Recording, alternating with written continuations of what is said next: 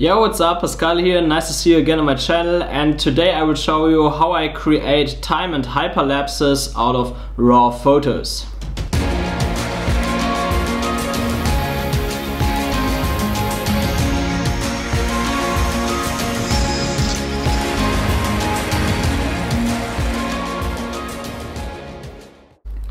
So, I recently published a tutorial on how I create day-to-night hyperlapses with the DJI Mavic 2 Pro and this tutorial is basically an extension of that, like my process, how I use all the photos that I shot there and edit them later, but we'll actually use another time-lapse right now and it doesn't really matter if you use a drone or a camera, like your mirrorless camera or a GoPro or whatever, that same process really works with every camera. And the reason why I shoot RAW photos is simply that with RAW photos I get the most dynamic range out of the sensor and if I have some issues or something, if I need to correct a bit more, then I can also do that in post-production simply because raw photos allow me a lot more color grading or color correction than normal photos would do and especially also normal video and that's actually a reason also why with more professional high-end cameras you usually shoot raw video simply because you can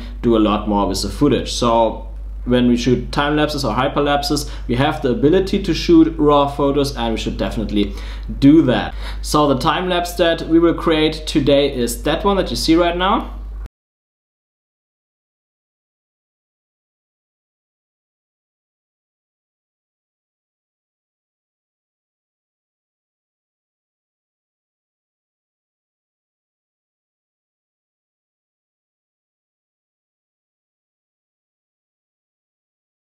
You see it's a nice one from Angkor Wat of the sunrise. I really like it. There's a little bit of a ring around the sun. I couldn't really prevent it. It's already raw, but it still looks great. And yeah, now I show you how I did it.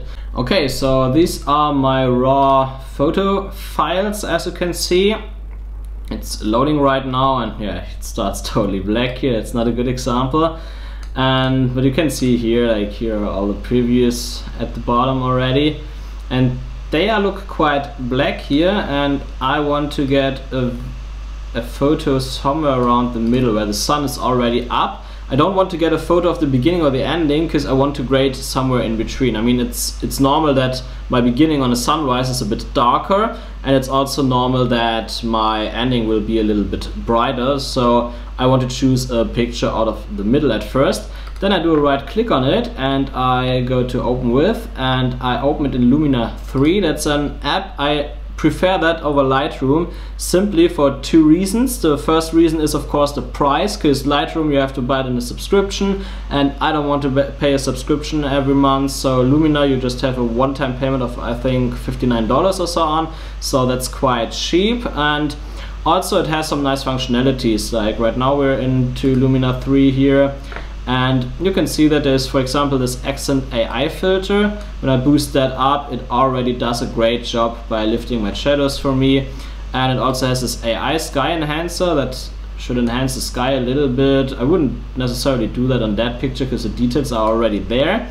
But for example if you have some drone shots then it can really make your process a bit faster and I mean, AI is not always good because it takes away the control from you and does it automatically. And it also has another functionality. I will not show that right now because that's for drone shots. And that is that those um, filters here, those tools, that you can have like multiple predefined filters. And it has a predefined filter set for drone shots so that's also pretty cool it also comes with a sky enhancer and some other tools that count more for drones so that's definitely good. Uh, it's actually here when you go to aerial photography, then you can see it here. Like there are all the filters already in there that you need if you have drone shots and that alone is pretty cool. But now I go into the professional workspace, I have raw develop here and that's important for me because the first, the first thing that I want to do is to lift my shadows. You can see here is the histogram and that's important for me because I don't want to do a final grade here. What I just want to do is to bring out all the details in the shot to basically um, take the contrast away from the image so that I have all the details from the shadows and I have as much detail as possible from the highlights so that I can save that into JPEG files and make a video out of that. So let's lift the shadows a little bit more. Maybe, yeah, let's, let's just do 30. Lower the contrast a little bit here. Also maybe minus 30 in that image. Yeah, that makes it usable. Then we also have the highlights. Maybe I can bring the highlights a bit more down. Doesn't do that much with the sun. I would say I don't do that much here. Maybe 25 just. And as you can see now in the image, by lifting the shadows and lowering the contrast, all the details are in there and when I turn that off now develop you see it's all black. So if I would export it with all those black shadows then there wouldn't be any detail and that wouldn't look good.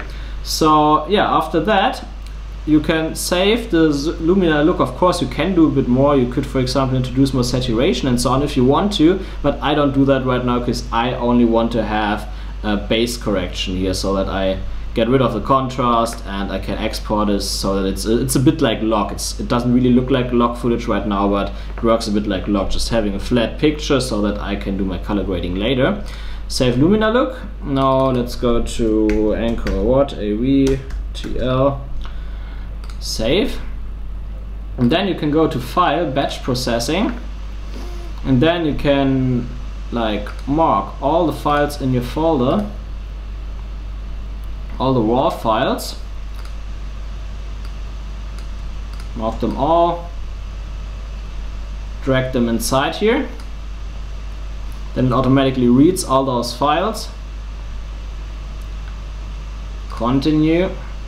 And then here under Luminar look you can choose user Luminar looks and then you go to AV AWTL amount 100 and then format JPEG also quality 100 sRGB. Depending on the software that you use later, the app to convert it to a video file, you might also be able to use, for example, TIFF images to get an even better uh, quality because TIFF images can have a higher bitrate. Like JPEG right now is 8-bit, that's not perfect. Uh, TIFF image would be a bit better there. After that, you simply click on Process and then it renders all the photos for you and you get like you can of course set the exporting folder and so on. So I exported it to the folder JPEG here right now and now I have all my JPEGs here. I can show you that one. So that's how it looks right now. After that I go into an app called TLDF. It's time it's called Timelapse Deflicker and what it does is when I insert all those JPEG images here, I will not insert all images right now, that takes a bit too long to process. Oh, there are also some RAWs in there, that's not good. Um, messed up this folder here already.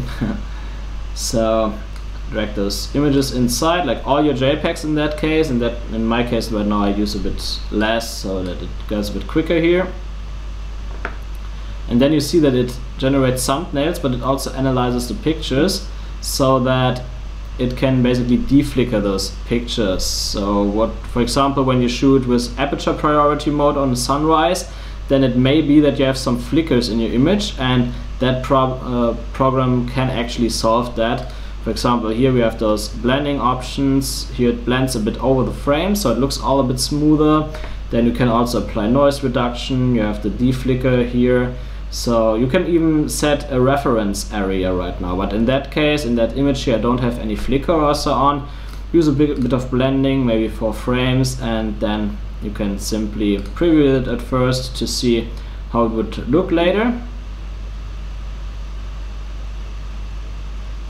There we see already, that looks around good and I mean you have some more options like you can click on edit image and so on here. But like mentioned before I want to do that later in my final grading and final cut. So after that you simply click on render and then it renders a video file out of that. So if I click on render right now I can choose the file name. And I don't want to output images. I only want to output video. And there you can go to H264 but I would recommend to go to ProRes 42HQ or 42 to get the best quality because ProRes is not just better to edit but it's also a better quality and yeah, you get a lot more information in your shot than as using MPEG 4. Color amount, I recommend Rec 7 or 9 because that's the video color space. You usually want to have that. And then you can also like choose the size and the images are actually in a 4 to 3 format and they are actually I think 5 or 6k something like that uh, instead of 4K and I want to have the highest resolution possible here simply because you have more information to work with. Like you can make some like pans up and down and so on. Like that looks pretty cool. And the time uh, the frame rate you should also set that to your final project depending on what you want to have. In my case I cut my projects on 24p so 23.976 and yeah after that I just click start and then it creates the video file.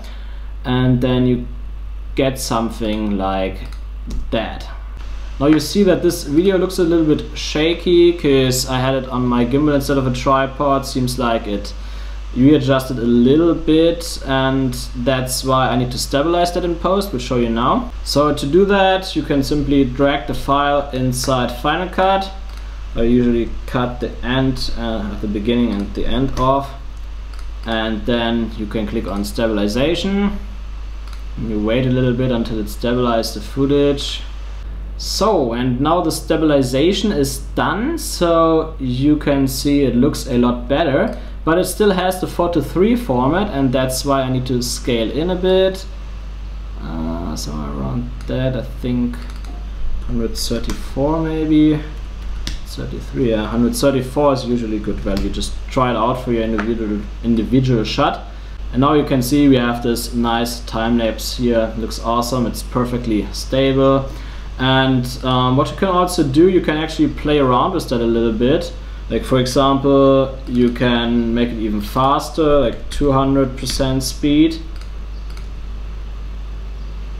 Yeah that's great. Then for example you could also animate it because we had a 4 to 3 image before. We have more height than our widescreen image actually had. So by like changing the position in the beginning and setting a keyframe and then setting a higher position at the end and setting a keyframe. I can actually animate it. I don't want to get too high here. That would look weird but now you can see like now it's also like going up. And that's actually the reason why having this 4 to 3 and a bigger resolution as you're actually cutting in is so good because you can make those effects in post. So that's it already. You see it's a pretty simple process and I actually mentioned another app for converting the JPEGs to video when I recorded the day to night hyperlapse tutorial for the Mavic 2 Pro. That was the app Sequent, which is not a bad app. I used it before like for a year or so. Um, but I figured out that especially if the light changes a lot, then it calculates the flicker a bit wrong in those shots. That's why I don't use it anymore and I've uh, switched to time-lapse deflicker TLDF. So I recommend to use that app. But you can try both depending on the type of time or hyperlapse that you choose. It might also be that Sequent is a bit easier uh, to use for you but apart from that you see it's a pretty simple process as first you bring the RAWs into a format where you can calibrate it by just compressing the histogram a little bit taking out the contrast then you export it to JPEG files or to TIFF depending on what app you use and then you make a video file out of that while removing also the flicker. In that case I didn't have any flicker there, like not that obvious flicker at least and yeah that's why it was a bit easier to do. But yeah, that's a basic process. If you have a little bit more shake in your footage, especially with, with hyperlapses, that happens a lot, then I also recommend to use DaVinci Resolve to get rid of that if Final Cut is not capable of doing any doing that anymore, because there you can simply like mark an object and then it tracks all the movement in your shot to that object and that helps a lot with stabilizing that footage. So DaVinci Resolve, it's free, it's very nice to do that but it's a bit more professional, it's a bit more advanced, I would say, and that's why I don't put it in that video anymore. But maybe if you want to see a tutorial on that here on that channel, then just leave it in the comments below and I will create one. So I hope you liked that video and you shoot a bit better time and hyperlapses in the future. Like mentioned before, always shoot in RAW, then it will be great. And there will be more tutorials. I'm on a 30 day challenge right now, so I publish one video per day with tutorial stuff. So don't forget to hit the subscribe and notification button right now and see you tomorrow.